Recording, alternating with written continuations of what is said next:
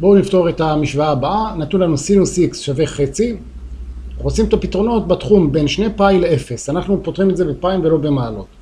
נלך למחשבון, נעשה shift סינוס חצי, תבדקו שהמחשבון הוא על רדיאנים. אז התשובה היא x שווה שישית פאי, זה מה שהמחשבון מראה, ולא לשכוח להוסיף גם את המחזור שני פאי k. אבל בסינוס יש לנו שני פתרונות. אחד, מה שהמחשבון מראה, שזה שישית פאי, ושני, זה פאי פחות מה שהמחשבון מראה. ועוד המחזור.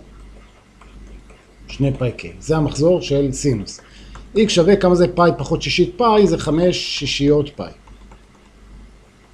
ועוד שני פאי k.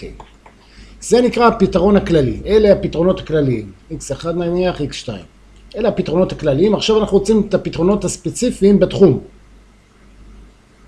אז פשוט, נציב k, כל פעם נציב k אחר. נציב k שווה 0, נציב פה, נקבל x שווה 5 שישיות פאי, וזה בתחום. נציב פה k שווה 0, נקבל x שווה שישית פאי. וגם זה בתחום, זה בין 0 ל-2 פאי. נציב עכשיו k שווה 1, פה יצא לנו 2 פאי ועוד 5 שישיות פאי, ברור לנו שעברנו את התחום, יצאנו מהתחום, זה יותר מ-2 פאי. כנ"ל פה, אם אני אציב k שווה 1, זה יהיה 2 פאי ועוד שישית פאי, זה עברנו את 2 פאי. לא לשכוח שאנחנו צריכים להציב גם k שווה מינוס 1, בסדר? אתם לא חייבים לעשות את זה בטבלה, את מה שלא.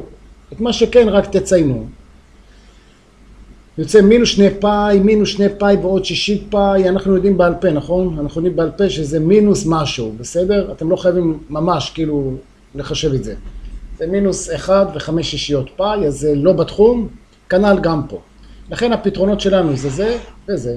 לא נמרח את זה יותר מדי, אנחנו נעבור לתרגיל הבא.